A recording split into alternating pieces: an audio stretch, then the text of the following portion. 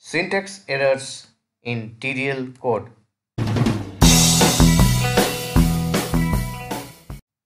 As it is shown in the screen, the definition type report is wrongly spelled as REPOR. Hence, it has been underlined in red, thus making it easier for the programmer to debug the code.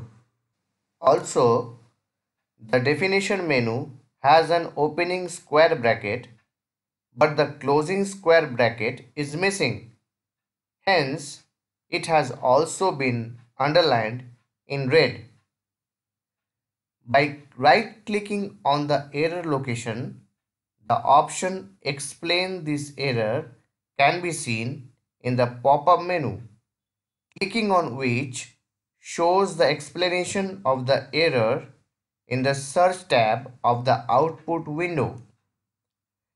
The name of the file containing syntax errors is displayed in red color in the corresponding tab. On right clicking on the particular tab, an option Go to Error is displayed. On selecting it, the focus moves on to the first error in the file. Thus, it helps the programmer to debug the program easily.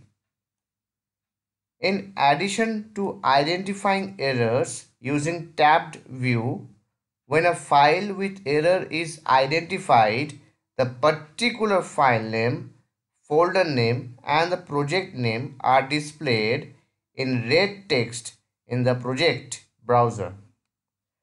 Thus, at a glance, the user will be able to tell whether an error exists within a file or project.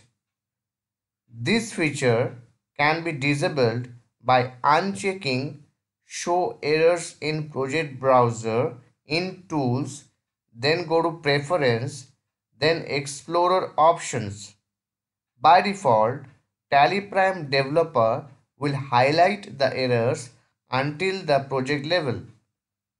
Apart from this, the lines in the code containing error can be identified by red color vertical lines on the left hand side of the editor window as shown in the screen. Thanks for watching my videos. Keep supporting me like this. Please share my videos with your nearest one and don't forget to subscribe my channel to get the regular updates.